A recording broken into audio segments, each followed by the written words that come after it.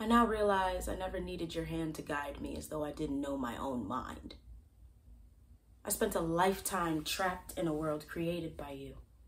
The exit always hidden through misdirection and a series of parlor tricks cleverly disguised as love to keep me contained.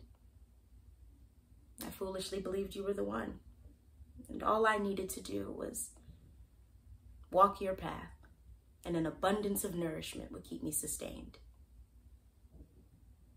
I know now that was a lie, an illusion. You are a master of your craft. The flowers always bloomed in accordance to the season. The sun knew its place, as did the stars and the moon, and in turn, I knew my place too. I smiled. I obeyed. I bit my tongue.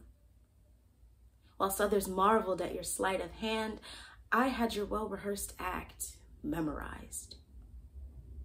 What you didn't notice as the crowds were up on their feet applauding you, I would stay sad in my seat, a hidden thorn amongst your bed of roses, a succulent, slowly draining your admirers, knowing one day that they would turn on you when you could no longer provide and grow to despise you as much as I did and still do now.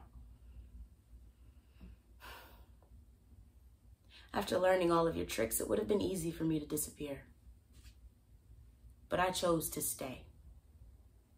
I found the courage within myself to set the white rabbit free so you could no longer hold that level of control over anyone or anything. In your final performance, as I stood clapping, a beacon of light, a voice amongst the silence, your sea of worshippers finally saw you for what you really were. Fake magic, a magician without a rabbit. The real magic, the one you didn't see coming, was me. I learned you must make friends with your demons. They teach you the things you need to know about yourself in order to grow as a person. Without even realizing it, you taught me everything I needed to know.